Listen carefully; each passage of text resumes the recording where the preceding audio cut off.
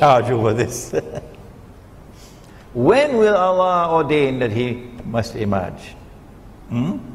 Because as soon as he emerges, he's going to head for Mecca and he's going to pro proclaim himself the Imam. Uh, an army will then march against him from Sham. And that army, as it crosses Medina, going south to Mecca, will be swallowed by the third khas. One in the east, one in the west, one in Arabia. When that army is swallowed by the earth, that is the validation. That is the conclusive validation that this man is indeed the Imam not eclipses in the sky, the sinking of the earth. When that army sinks down into the earth and is swallowed, then the Abdal from Sham and Al Iraq will come to the Imam to offer bay'ah. The Sufis have hijacked this word, Abdal. So I got to take it back from them. I got to take it back from them. And they say that the Abdal are some mysterious people. There are always only 40 of them and so on, and they have the world in their hands and so on. No. Abdal means when one dies, another one replaces him. This one dies, another one replaces him. This one dies, another one replaces him. The Abdal. So if you're listening, Washington, let us introduce you to the Abdal.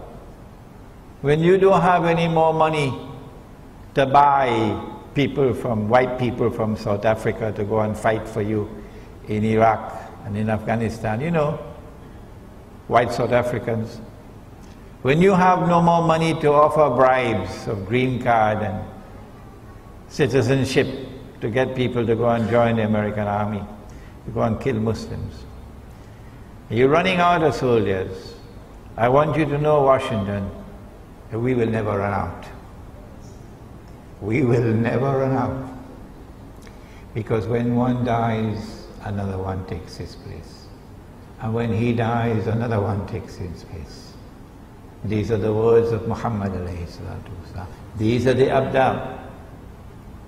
They are the mujahideen who are waging a just struggle for liberation from oppression and liberation from occupation of the land. They will now come to give the bay'ah to Imam al-Mahdi. Imam will now be attacked from an army of the Quraysh, said the Prophet ﷺ. An army of the Kalb, and he will defeat that army. Would it be a Saudi army? Looks very much like that to me. Looks very much like that to me. But Allah knows best. When he defeats that army, then Jaziratul Arab. Oh, another term out of the cold storage. See, good thing we left the door open, eh? Jaziratul Arab. When last did you hear that term? Jaziratul Arab is the Arabian Peninsula. Today it has been hijacked and there is an obnoxious name called the state of Saudi, no sorry, the kingdom of Saudi Arabia. Squatting. Squatting.